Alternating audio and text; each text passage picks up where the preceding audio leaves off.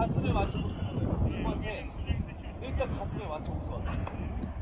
가슴에 가면은 각도를 가슴에 맞췄으면은 그 다음에는 글러브만 대면 잡고 있어. 그래 첫 번째 너희는 일단 팔로 잡아. 일단 저기 있으니까 이렇게.